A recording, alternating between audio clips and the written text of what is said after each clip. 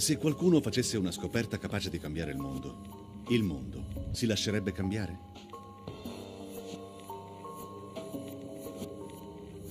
Ci sono persone che sviluppano teorie che vengono considerate bizzarre e deliranti dalla scienza ufficiale.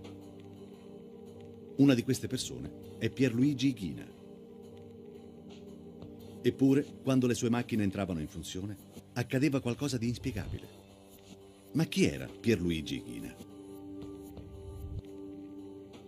Io sono nato nel 1908 e ho 80 anni, ma siccome levo lo zero solo 8 anni.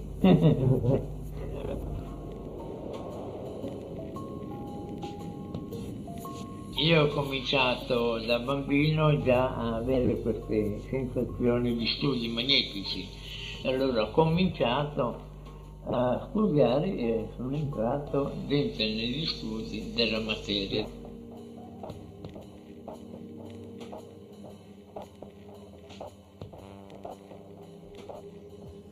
Qui c'erano le macchine, qui c'era lo stroboscopio, era recintato, c'era lo stroboscopio che era questo tubo molto grande di colore azzurro. E, che è stata la, la, la prima costruzione che lui ha fatto.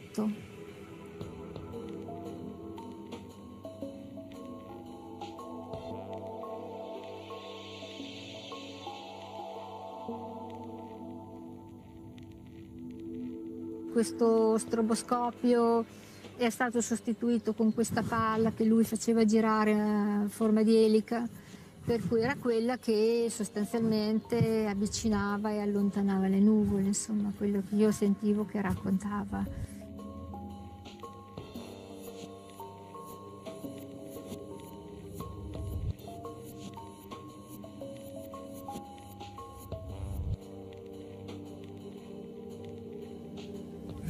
L'esperimento delle nubi.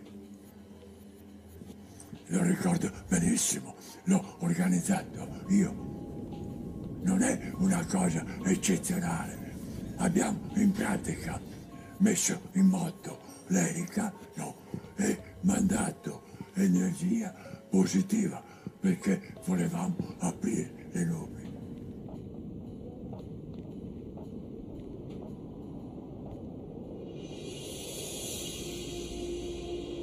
Pierluigi Ghina nasce a Milano il 23 giugno 1908.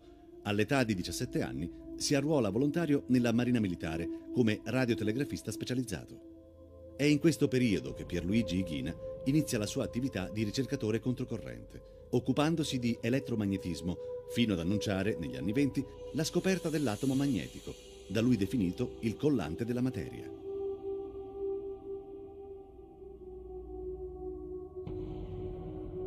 Nel 1936 il conte Giulio Gamberini, ricco possidente terriero, sposatosi con la sorella di Pierluigi Ighina, lo invita a trasferirsi ad Imola per coinvolgerlo nella gestione della proprietà. Ighina accetta e nella proprietà del conte Gamberini trova spazio utile per continuare le sue ricerche.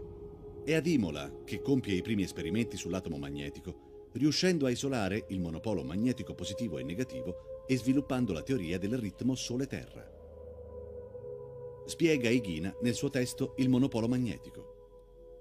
L'energia solare è il monopolo positivo dell'atomo magnetico che arriva alla Terra a spirale. Dalla Terra riparte un'altra spirale verso il Sole con segno negativo e così il ciclo si chiude. Il riflesso di questa energia, abbinato alla pulsazione che lo caratterizza, crea la vita ed ogni cosa animata o inanimata è segnata da un proprio ritmo. Nella sua casa all'interno del circuito imolese, Ighina costruisce lo stroboscopio ritmico magnetico solare, uno strumento che, sostiene, possa avvicinare o allontanare le nuvole. Il ricercatore dichiara di essere in grado di far piovere. Inizia così la sua storica sfida con l'autodromo di Imola. Ighina, come tutti i proprietari all'interno dell'autodromo, era un feroce nemico oh, nostro perché all'epoca organizzavamo praticamente solo noi e quindi eh, nulla tralasciava perché le nostre manifestazioni fossero uso la parola fra virgolette maledette dal maltempo. E allora con molto fair play avvicinammo Ighina per intavolare con lui eh, degli fra virgolette sotterranei accordi affinché lui non portasse più avanti queste procedure di pioggia, di intemperie sulle nostre manifestazioni. Ho cominciato a seguire le gare che avevo nove anni qui all'autodromo, cominciai a sentire parlare di eh, un certo Pierluigi Ighina, un personaggio che eh, veniva dato come colui che eh, con i suoi esperimenti magnetici riusciva a far piovere per osteggiare e contrastare quello che era, che era diciamo, il fenomeno corse. Quando vedevo che pioveva eh, la, la vedevo come una cosa che sarebbe servita. Esempio quel giorno quando mi disse ma io faccio, faccio piovere domenica su in varie zone dell'autodromo, cioè, subito nella mia testa disse ma questo è un genio. La domenica è successo quello. Nel 90 pronto, tutto pronto per il via, mancano 5 minuti, arriva di nuovo una nuvola e piove, incredibilmente piove solo sul circuito, al di là del fiume dove comincia la città c'era il sole piove solo nel circuito. Tant'è che pronti per il giro di ricognizione, Alain Prost, che era uno dei, dei più attesi della giornata, si dipista nel giro di ricognizione e si ritirò, quindi gara compromessa per la Ferrari. Devo dire che inizialmente eh, questo accordo con Ighina non, non, ebbe successo, infatti agli inizi degli anni 60 dovemmo annullare una conchiglia d'Oro Shell che veniva aspettata da migliaia e migliaia di spettatori però il sabato un nubifragio incredibile, tutta Imola fu allagata, figuriamoci l'autodromo, e ci vedemmo costretti ad annullare anche questa manifestazione e ti parlo del 1972. Potresti controllare negli anni quanto è piovuto a Imola quel giorno lì. La, la coincidenza io non penso che possa essere casuale, o oh, lo sarà, eh? Pioveva quando diceva di far piovere, più di così non sarà stato vero, non lo so. Nei suoi occhi, anzi meglio, mi correggo, nella luce dei suoi occhi c'era qualcosa di tenebroso, vorrei dire di misterioso che ti faceva rimanere un attimino interdetto, un attimino perplesso su questo personaggio. E la perplessità è dubbio, e il dubbio le persone intelligenti lo fuggano.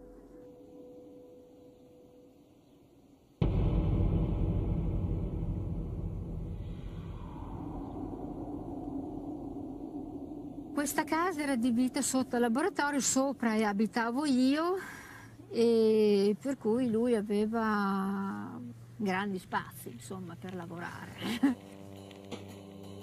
La vita insieme era impossibile perché lui era un solitario, lui non ha mai avuto tante persone vicine, lui era un solitario, lui stava alzato tutta la notte, andava a letto alle 3 alle 4 del mattino perché nella notte lui eh, faceva le sue cose. Quando erano le 10 e mezza, 11 che noi andavamo tutti a letto, lui eh, scendeva e andava nel suo laboratorio perché lui nella notte, nel silenzio della notte, riusciva probabilmente a realizzare meglio le sue, le sue cose. Io per entrare nel laboratorio dovevo quasi chiedere il permesso, quindi non è che potessi entrare più di tanto.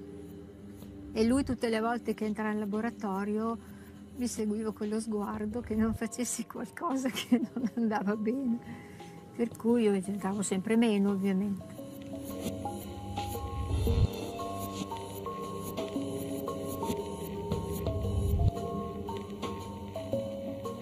Io sono stato a trovarlo diciamo, nell'ultima fase della sua vita, aveva già 86-87 anni quando andai a intervistarlo la prima volta e aveva, questo era il fienile, aveva queste macchine grandi, fili dappertutto, un laboratorio bello perché era appunto pieno di queste macchine colorate. E in giardino, eh, per noi bambini molesi, era un, un, posto da andare a vedere. Con le biciclette passavamo molto vicino all'autodromo, anzi all'interno dell'anello dell'autodromo c'era la sua casa, con queste macchine grandi e fantastiche. Per esempio questa, che si vede in questa foto in bianco e nero, era la macchina della pioggia la macchina da pioggia era una, una pala d'elicottero eh, che Ighina dall'interno del suo finile laboratorio faceva ruotare o in un senso o nell'altro, sostenendo che questo avrebbe cambiato il, il tempo perché poteva spostare le nuvole. Ma abbiamo fatto esperimenti a non finire con Ighina. Dieci anni se ne fanno di cose. È il 1937, quando Pierluigi Ighina fonda ad Imola il Centro Internazionale di Studi Magnetici. Nella sua casa laboratorio si realizzano esperimenti e si costruiscono macchinari di grandi dimensioni. All'esterno, nel prato che la circonda, vengono sepolti una serie di tubi pieni di polvere d'alluminio, a forma di spirale, che scendono in profondità. Interessati alle sue teorie, alcune persone lo avvicinano offrendosi di aiutarlo. Da quel momento Pierluigi Ghina non sarà più solo a sviluppare la sua ricerca, ma potrà contare su alcuni fidati collaboratori. Uno dei primi esperimenti che decidono di fare è quello di bombardare la Luna con un tubo magnetico alto 7 metri per osservare quale effetto ne derivava. All'inizio quando si è arrivato dai Ghina sembrava che dal giorno all'altro dovesse scoppiare il mondo su queste cose. La mia vita, cioè è entrato nella mia vita questo, questo mondo che Ghina mi ha presentato, poi io sono stato messo un po' da parte, no? dopo tre anni. A questo punto io mi sono trovato proprio uno che non sapeva più da che parte fosse, perché viveva la vita di tutti i giorni che poi contrastava con, la, con l'apertura che aveva, mi aveva creata nella mia persona Ighina. E quindi poi ho imparato, come ho anche detto, a guardarmi dentro, a conoscermi e capire quello che Ighina stava facendo su di me, insomma mi stava preparando a quello che secondo lui fin dall'inizio era un mio compito e io ero il più setico di tutto sul compito che dovevo svolgere a sinistra. avrei dovuto fin dall'inizio fare degli apparecchi di fronte ai quali nessuno poteva dire che non erano vere le cose di Gigi.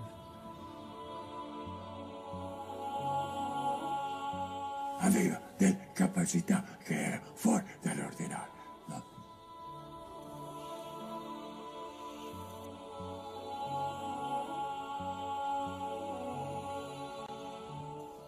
le antenne lassù l'ho messe io da solo.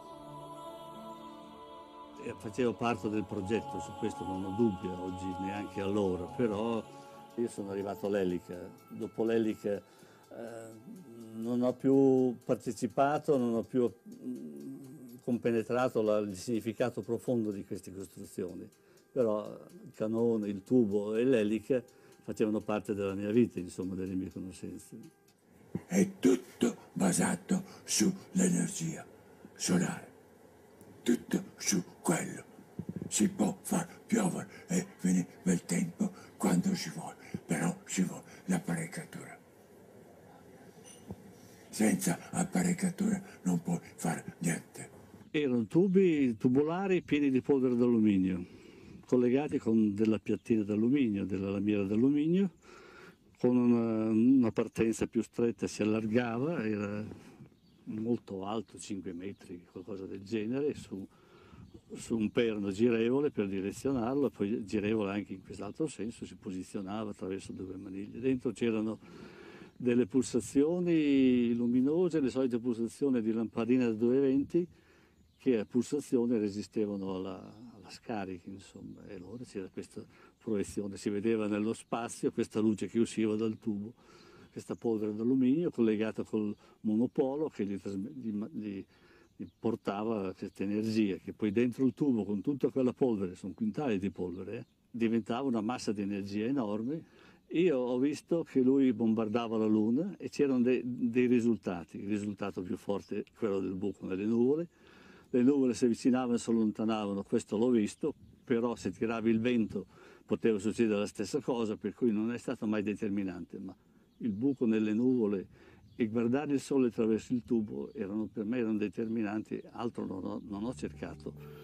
È il 12 settembre del 1972, quando Pierluigi Ighina, aiutato dai suoi fidati collaboratori, annuncia addirittura l'incontro con un extraterrestre, il principe Shegustori. Le cronache giornalistiche locali riportano di curiosi e appassionati accorsi a migliaia sul Monte Castellaccio di Imola per incontrare l'alieno che avrebbe dovuto essere risucchiato mediante apparecchiature elettriche predisposte dallo stesso Ighina. Se devo dire in che momento cosa ho provato, non, non, non ti racconto proprio niente, nel senso che non lo so. So che abbiamo organizzato con questo Depliant Segustori, eccetera, che sarebbe intervenuto, eccetera, eccetera. I miei parenti sono venuti, quindi qualche cosa avrò creduto anch'io. Ma parlano di un migliaio, da tutte le parti, dalla Francia, dalla Germania, mi ricordo, ce n'erano di tutti i tipi. La delusione perché non, non erano arrivati gli extraterrestri, non l'ho, provata minimamente. Cosa è successo? Non so cosa è successo. Ci sono delle cose in, intime che poi si, si esprimono nel tempo. Qualcuno è venuto quella sera, secondo me. Qualcuno nel mio cuore è entrato quella sera. Punto e basta. Il generatore dell'atto magnetico vuol dire che io posso dividere l'energia positiva o negativa dell'atto magnetico. E a seconda di quello che faccio andare su, apro o chiudo le nuvole.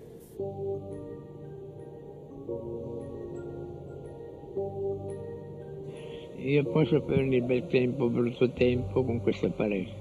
Una classe di 6 o 7 anni, bambini, sono quindi elementari, sono venuto qua dentro e mi sono detto, vedete bambini, là ci sono le nuvole e non c'è il sole. Adesso io faccio girare l'elica, dopo vi farò vedere girare l'elica, vedete che dopo un quarto d'ora, 20 minuti, si apre le nubi e viene fuori il sole. E dopo 20 minuti è venuto fuori il sole. Il bambino ha fatto bene, bravo. Stata la più grande soddisfazione della mia vita. Perché tutti quanti certo, la combinazione, c'è il vento, c'è, le, c'è qui, là, non è vero. Allora, i modi di esperimento ne ho fatti una quantità enorme. Ho sempre cercato di non far credere la verità se no non mi lasciavano fare nulla, quindi io faccio quel che mi pare mi piace. Adesso qui io vi spiego il ritmo. Se voi vedete, noi abbiamo un tubo di alluminio, quindi polvere d'alluminio. Qui abbiamo una spirale che capta l'energia solare. Qui in basso c'è altro tubo che preleva l'energia terrestre con la spirale all'incontrario. Se voi prendete una spirale e la rovesciate, il movimento è all'incontrario. Ora, se queste due energie riportiamo uno vicino all'altro, li blocchiamo, li fermiamo, qui si condensa e produce la materia. Questo è il segreto di madre natura.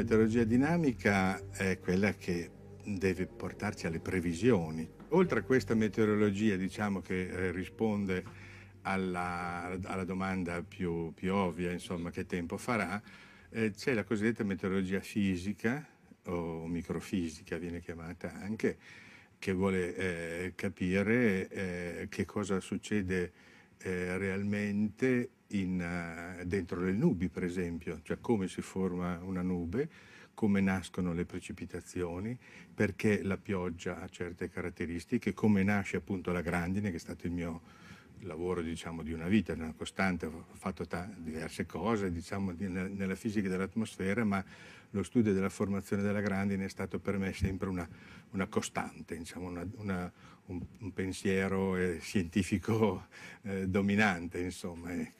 In sintesi, diciamo, si è potuto considerare il chicco di grandine sostanzialmente come una sonda naturale, cioè sapere da queste eh, strutture diciamo, eh, qual era la condizione all'interno della nube.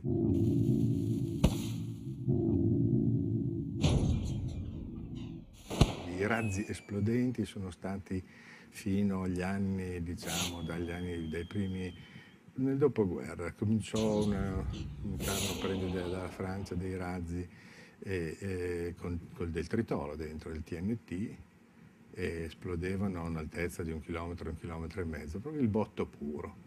La versione moderna diciamo, del suonare le campane del, del 600, insomma. in realtà le prove poi fatte con con dei chicchi vicino delle esplosioni all'aperto, cioè non hanno dato questo tipo di conferma. E allora l'Italia era anche eh, un terreno di, eh, di, di, prova, di tentativi che eh, non avevano eh, una base scientifica ma venivano fatti. Secondo me insomma, siamo un po' nell'ordine della, della fantameteorologia, insomma. Ecco, conosco particolarmente questo caso, questa persona, certamente se agisce eh, diciamo, sul, sul, fenomeno in modo da modificarlo deve eh, spiegare, diciamo, è difficile ecco, che ci siano delle cose che sfuggono, diciamo che ci sia una... Un, se c'è, deve, si va alle conferenze internazionali e eh, si dimostra, insomma, ecco, ma ci sono delle cose, per esempio, che insomma, non è che non, non avvengono uh, novità, appunto, le novità sono di, di, di questo tipo, soprattutto uh, combinando le, le teorie con delle osservazioni sempre più raffinate. Ecco. Il momento fondamentale è stato quando lui ha messo nel giardino tutta quella roba che proprio insomma, nessuno, nessuno poteva passare di lì senza guardare. Sembrava veramente un Luna Park, perché all'inizio c'era questo tubo, questo stroboscopio di un colore azzurro che insomma era proprio così, eh, non potevi non vederlo, poi dopo queste palle che giravano quando c'erano le nuvole, eh, insomma si faceva notare. Il fatto che lui non fosse creduto secondo me gli dava la forza per tirare avanti. Io sono convinta che, che gli altri credessero o meno, lui non importasse molto. Lui andava, andava avanti per la sua strada, lui credeva di dover mettere a conoscenza um, le persone delle sue, delle sue scoperte e che avrebbe fatto bene a tutti quanti quello che lui aveva nelle mani. Sogno o realtà non lo so, questo non lo so. Qui abbiamo una macchina rotativa che produce il movimento rotatorio di energia solare, la quale dà la possibilità di fare vedere gli oggetti in movimento per riflessione. E se voi vedete questo oggetto qua sopra che è fermo, si vede l'immagine in movimento. Questo è la cosiddetta presa in giro che il Sole fa a tutti i scienziati del mondo. Quando gli scienziati cominceranno a capire questo, cominceranno a, a conoscere che cos'è il ritmo solare terrestre. Io um, ho avuto un rapporto molto conflittuale con lui. Lui diceva sempre eh, che le cose erano semplicissime e che era impossibile che noi non le capissimo. Ma non ci dava gli strumenti per capirlo, almeno gli strumenti che noi conoscevamo chiaramente. E poi erano tutte cose strane, per esempio questo, questa lampadina, mi ricordo vicino al pollaio, una lampadina sempre accesa, perché lui aveva fatto praticamente un collegamento con le radici e i rami e aveva eh, acceso questa lampadina. Per me era normale che una lampadina si accendesse in un albero, però non mi sono mai posto il problema perché si accendeva una lampadina in un albero.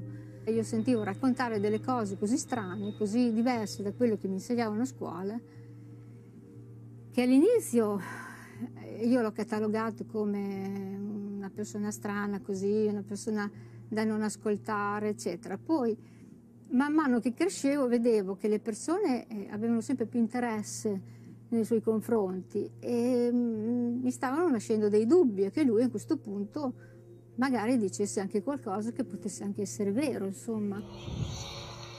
Questi sono tutti tubi pieni di polvere d'alluminio. Tubi pieni di polvere d'alluminio che si muovono, che girano, le quali hanno la proprietà di emettere energia o captare energia a seconda delle polarità che noi diamo. Qui si formano i rilmi, vedi? Bassi in alto, i rilmi continuamente. Questo qui è l'apparecchio che serve per allontanare e avvicinare le nuvole, per fare bello e brutto tempo. Lui non ha mai cercato una soluzione analitica, ha sempre avuto un approccio filosofico, eh, intimistico nel, nei confronti di queste ricerche e ripeteva e diceva spesso che non, non serviva la trattazione analitica. Ma noi sappiamo oggi che per poter essere comunque eh, ascoltati in un certo qual modo dalle istituzioni, dal, dal dal mondo stesso, chiamiamolo così, dobbiamo presentare un, una ricerca sotto forma di eh, modello matematico. Questo secondo me non c'era già più quando, quando sono passato, ma de, delle intuizioni ce l'ha, cioè, l'idea comunque del monopolo magnetico in teoria esiste, cioè che, sia, che sia, possibile separare il polo fi, fisicamente, in teoria, il polo positivo dal polo negativo, ma in realtà non è, è una teoria come la fissione, insomma, alla fine non riesce a farla. Che cos'è un monopolo magnetico? Uh, probabilmente lui lo chiamava il collante della materia. Lui lo chiamava il collante della materia. Lui diceva che il monopolo magnetico era ciò che teneva legata la materia. Il monopolo magnetico lui diceva che appunto serviva per, per generare e per distruggere tutta la materia. In funzione di quale polarità veniva data alla materia, lui poteva trasformare la materia in energia e viceversa.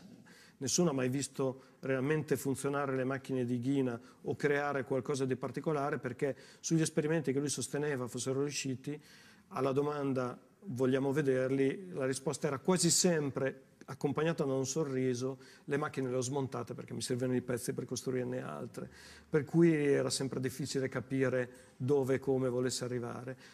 Io ritengo di sì, molto, sempl molto semplicemente ritengo proprio di sì. Sì, perché c'era una logica nelle sue, nelle sue cose. Cioè lui, diceva, lui non è che diceva attacco due fili, tre cose, un po' di polvere di alluminio, due tubi e piove. No. C'era una metodologia, una logica nei suoi esperimenti. Riempire dei serbatoi di energia, scaricarla, la rotazione, eh, il, il, mescolare l'energia che lui, che lui generava con quella che secondo lui veniva comunque sempre riflessa dalla terra verso il cielo piuttosto che dal cielo verso la terra, dal sole verso la terra. Lui mescolava la sua energia con quella che naturalmente secondo lui già esisteva, potenziandola, potenziando a volte quella che ne usciva dalla terra, a volte quella che scendeva. E quindi diceva che le nuvole ehm, erano capaci di immagazzinare questa energia. Se, venissero, se venivano squilibrate o da un lato o dall'altro, si poteva avere o la repulsione o, la, o l'attrazione e quindi la condensazione. Quindi c'era una logica molto, molto interessante sotto, estremamente interessante, una logica che andrebbe, ripeto, presa in considerazione e quantomeno approfondita. Sul clima credo di no, credo che magari un giorno, fra 50-100 anni, qualcuno dimostrerà che per esempio alcune idee di fisica teorica avessero delle basi, ma non in quello che Ghina faceva, ma in quello che Ghina sognava. E qui è la grande differenza.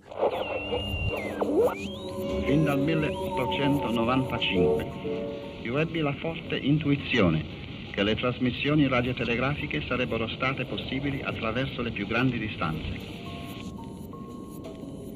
io ho lavorato dieci anni con Guglielmo Marconi e quindi dall'esperienza di Guglielmo Marconi io sono riuscito a sviluppare quello che lui voleva fare.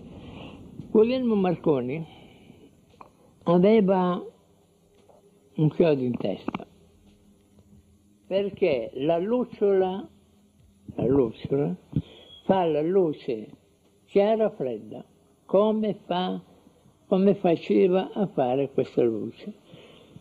Allora che cosa è successo? Che lui ha studiato la lumaca.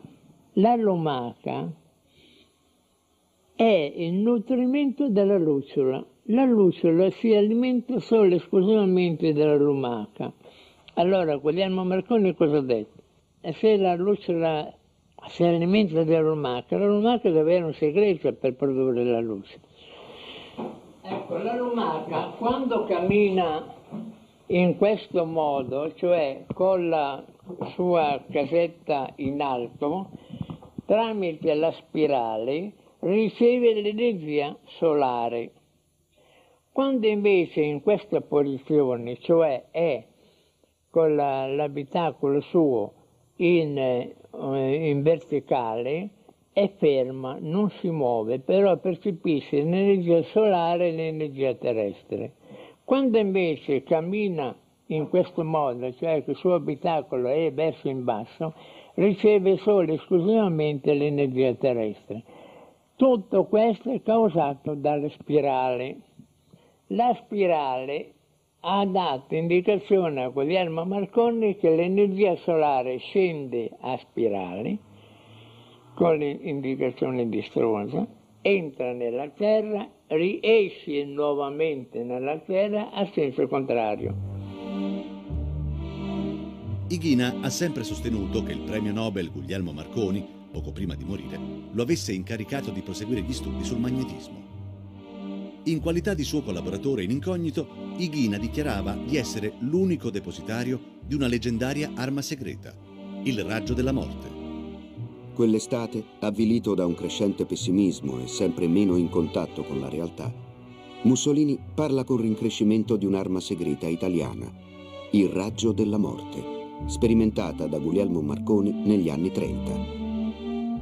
Secondo indiscrezioni giornalistiche, tra il 1935 e il 1937 Marconi era riuscito a costruire un'arma capace di bloccare a distanza e distruggere qualsiasi mezzo motorizzato. Rachele Mussolini racconta in una sua autobiografia che nell'estate del 1936, mentre si recava in macchina col suo autista a Ostia, la sua auto e tutte le altre nel raggio di 200 metri si fermarono senza alcun motivo.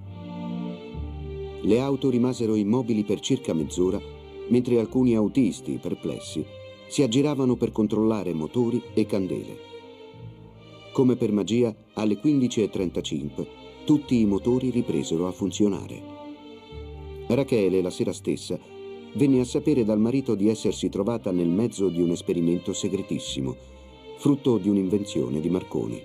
Ma intanto diciamo che eh, Pierluigi Ghina è stato certamente un personaggio, lui e eh, i suoi allievi, interessato a Marconi, interessato a questi luoghi. Quindi mh, noi abbiamo tracce del passaggio di Ghina da, da queste parti. Eh, ricordo che il mio predecessore come presidente della Fondazione Marconi lo incontrò una volta, non so che cosa si siano detti, comunque eh, certamente erano, i Ghina e i suoi erano interessati a Marconi, a questi luoghi ai quali poi attribuivano delle proprietà particolari secondo il loro modello. Quindi il flusso in questa direzione, Ghina verso Marconi, Pontecchio Marconi, è storico, esiste. Mentre invece, per quello che noi abbiamo potuto stabilire, non c'è nessuna traccia eh, di tipo storico che ci faccia pensare che Marconi conosceva Ighina, che abbia avuto in qualche modo la possibilità di passargli progetti piuttosto che avere colloqui e così via. Io ho incontrato Ighina presso lo studio dell'ingegner Baldini, che negli anni 70 era il segretario generale della Fondazione Marconi e io ero la, la, sua, ero la segretaria della Fondazione. Una volta venne con un dipanatore eh, della lana, proprio quelli come le nostre nonne usavano per avvolgere le matasse di lana e c'erano attaccati dei gusci di, eh, di lumache eh, e sì, io lo, lo conservai in, in, archivio, poi naturalmente si è perso, ecco, lo conservai in archivio e, ed era legato, eh, mi dissero, era legato a um, delle ricerche che aveva fatto Ghina sulla spirale magnetica.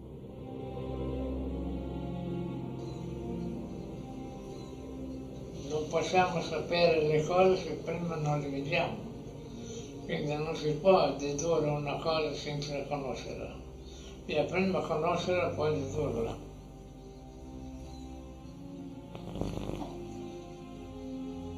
Il tempo e lo spazio per me non esiste, perché il tempo e lo spazio noi lo procuriamo con delle apparecchiature quindi il tempo e lo spazio viene eliminato completamente quando non c'è più nessun ostacolo davanti che crea l'impedimento della trasmissione.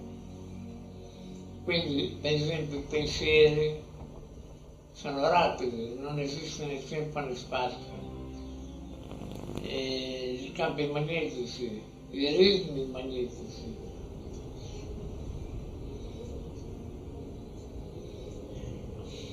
Campo magnetico è una materia, non è un'energia. Loro credono che sia energia e lo adoperano per, per spaccare e dividere la materia invece materia con materia producono una terza materia che è completamente deformata su quello normale.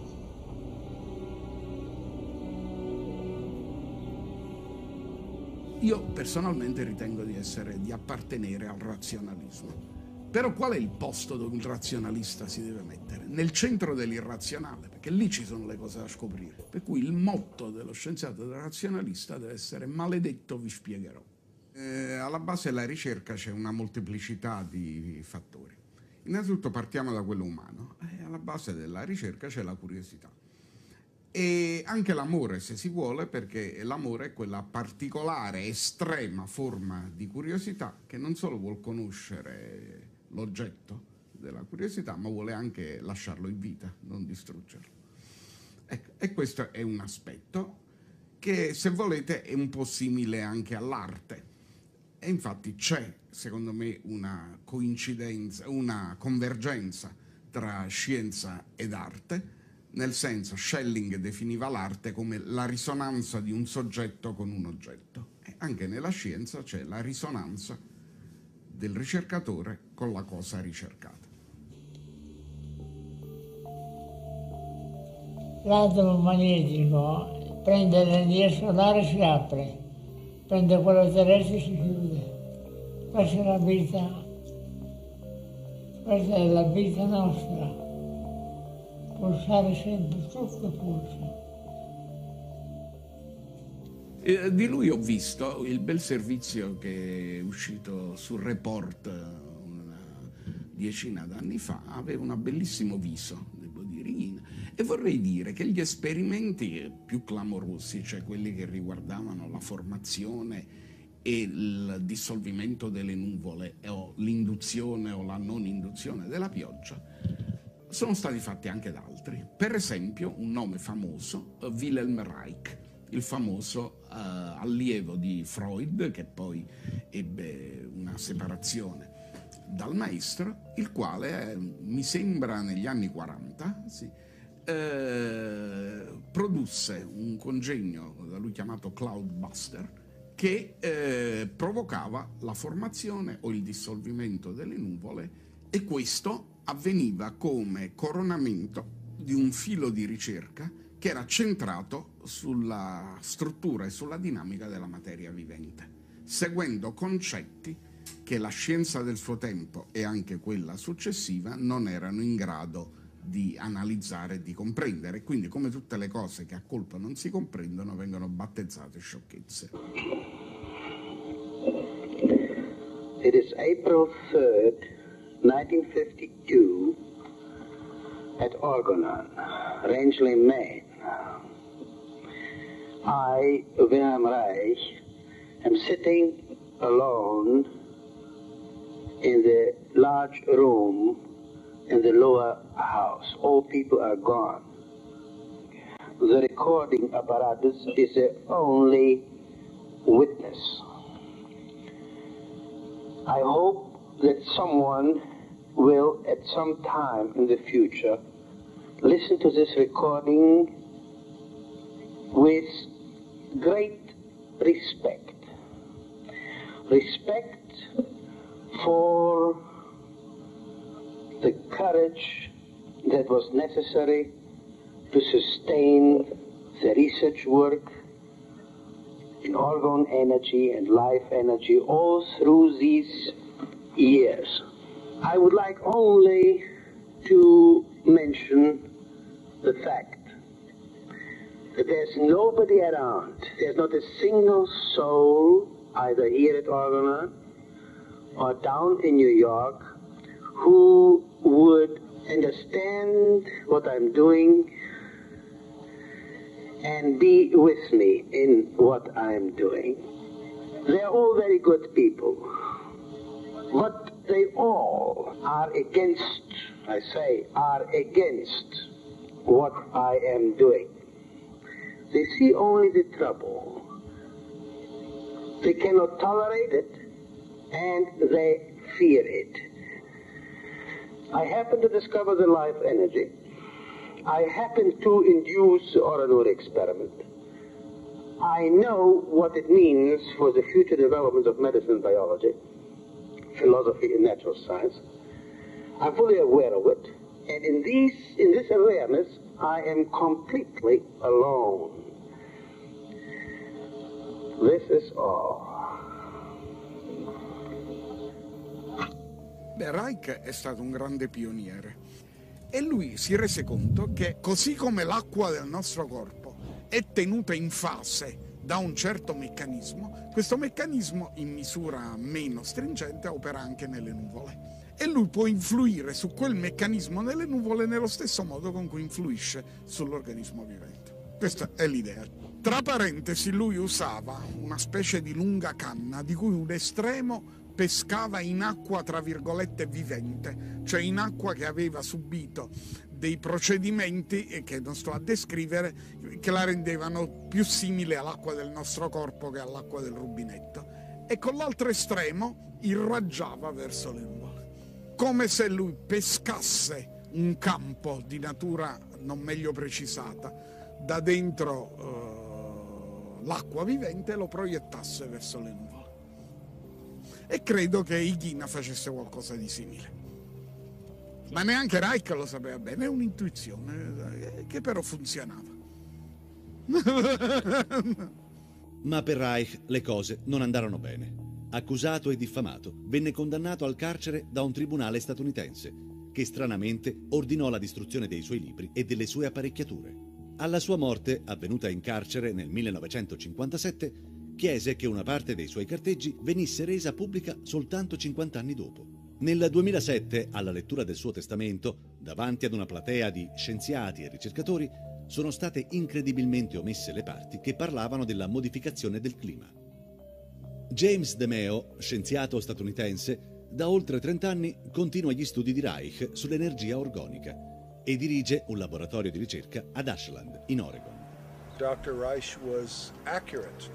Il dottor Reich fu molto preciso nel dire che i cloud buster, gli acchiappanuvole, funzionavano. E le implicazioni che ne seguirono furono che anche la sua teoria più ampia sull'energia organica, l'energia che ricarica lo spazio, più o meno il corrispettivo dell'etere del XIX secolo, era altrettanto valida. L'energia dell'orgone quella che voi chiamate l'energia organica, se volete è la forza vitale, l'energia vitale. Ma non è una sorta di ipotesi, una sorta di idea teoretica. È una reale energia tangibile. La possiamo misurare. Esiste nell'atmosfera, in forma libera. E ricarica anche noi. Ricarica il terreno. Ricarica gli alberi. Sappiamo che questa energia esiste e abbiamo degli esperimenti concreti che lo provano e il Cloudbuster, la chiappa nuvole, ne è lo sviluppo. A partire dall'accumulatore organico sino all'investigazione dell'energia organica nell'atmosfera e alla fine alla scoperta dello stesso Cloudbuster. Il più importante esperimento che ho realizzato è stato in Eritrea. L'Eritrea si trova proprio accanto al deserto del Sahara e noi abbiamo lavorato per cinque anni, aumentando incredibilmente le precipitazioni, aumentando incredibilmente la produttività del terreno. L'intera regione della Valle del Nilo fu investita dalla pioggia regolarmente, ogni anno, per cinque anni consecutivi. Abbiamo lavorato duramente per cinque anni in quella zona, ogni estate per diversi mesi. E quindi pensavamo che da questo qualcosa sarebbe seguito. Ma vedete, in Occidente gli scienziati accademici, loro sanno tutto. Non gli puoi insegnare niente. Anche io sono uno scienziato classico, conosco le università, ci ho insegnato, conosco questa gente. Molti di loro sono brillanti, molto intelligenti. Ma sapete, come direbbe Shakespeare, più intelligenti di quello che sono realmente. Cioè loro sono consapevoli di quello che conoscono, ma non conoscono quello che non sanno. Un vero scienziato è consapevole di questo. In altre parole, sa che esistono dei limiti alla conoscenza e sa che c'è bisogno di conoscere di più, di sapere quello che ancora non si sa. E questo è molto raro.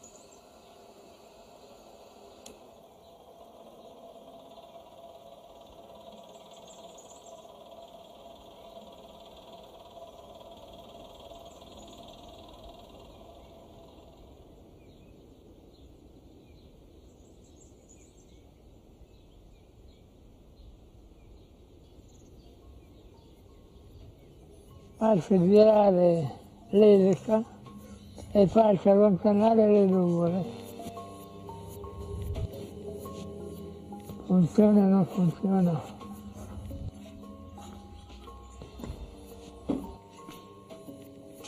Ecco, adesso guardiamo dal punto là, in alto, eh?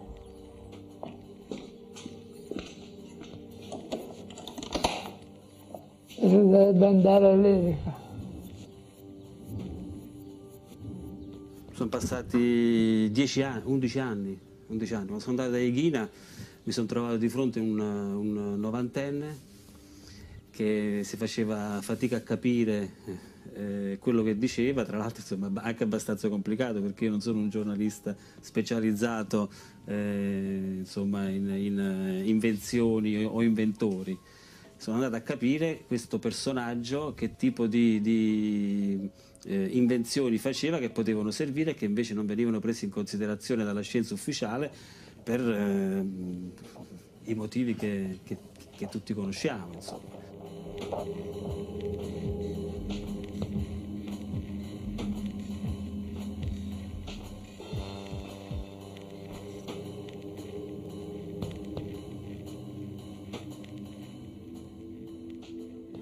Essere credibile insomma, per, per, fare un servizio su di lui, insomma, dovevamo vedere qualcosa. Cioè, eh, gli esperimenti si raccontano però si devono vedere insomma, in tv, eh, è così.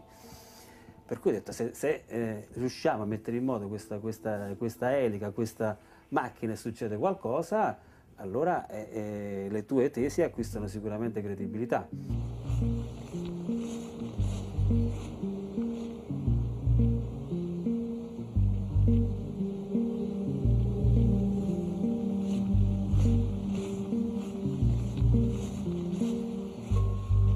Vede, prima era buio là, eh.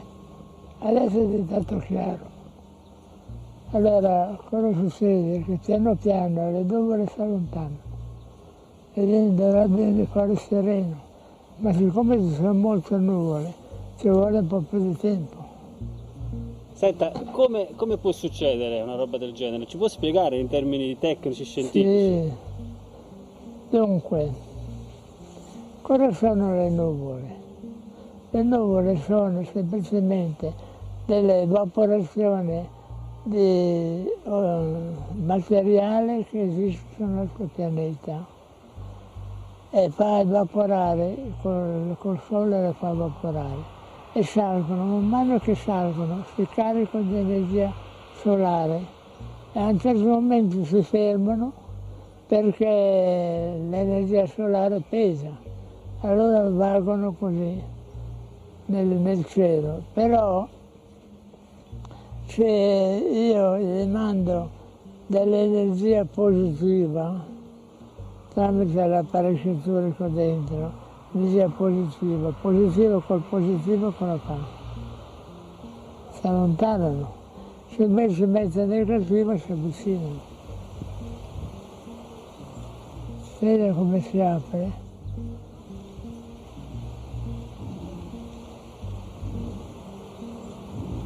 Perché è un po' difficile muovere una massa così, eppure guarda come si muove.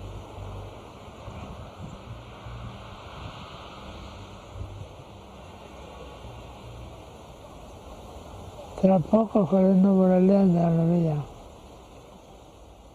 Lui mi ha, eh, ha, tentato di fare poi quello che effettivamente è successo e gli è riuscito. E, e, era qui la, la, cosa eccezionale, insomma, era, eh, era vero, cioè, era vero, non avrei mai mandato in onda una cosa non vera. Infatti, insomma, ero proprio preoccupato, a parte che, insomma, eh, eh non l'avrei mai fatto, no, non, non, non, sta proprio nella, nella deontologia, di, di, proprio, ma neanche nella mia testa normalmente, cioè di fare una cosa che non è vera e mandarla in onda. No? Eh, eh, per cui il mio problema era proprio dare, dare credibilità a questa cosa che, che, che, era successa davanti ai miei occhi, cioè, eh, non poteva essere un caso, perché si è spaccata a metà eh, il cielo, cioè, era tutto coperto, poi si è spaccato proprio a metà, proprio sopra l'elica. Cioè, eh, io gli ho creduto, eh, gli ho creduto perché è successo.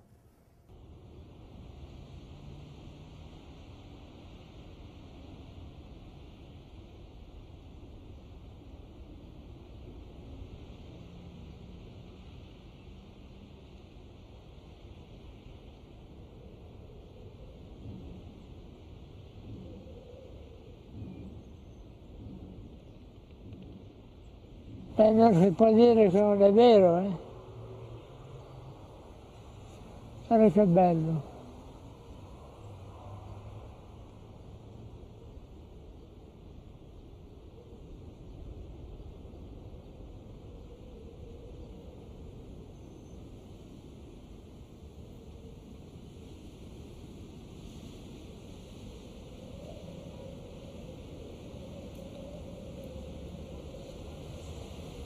mi fanno fuori. Se ci crede non mi fanno fuori, quando comincio a dire di aver paura.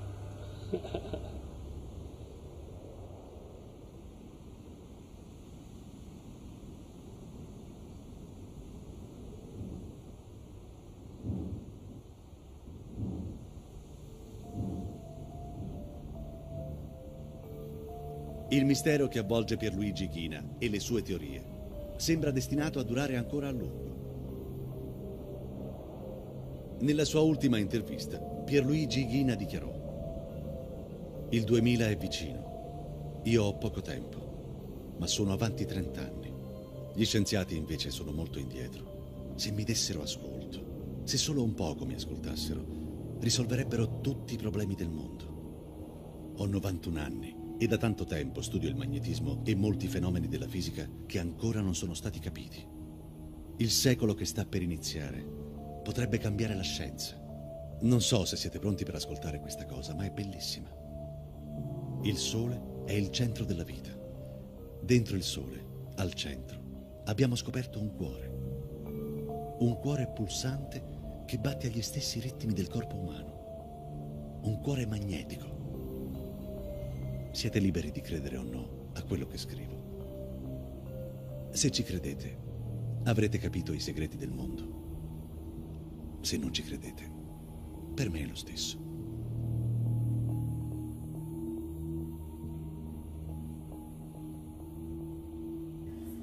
Lui non è mai stato matto, anzi, ma anche a me hanno detto che sono matto. Ma è normale tutto questo se io non ti spiego come stanno le cose. Tu non fai altro che dirmi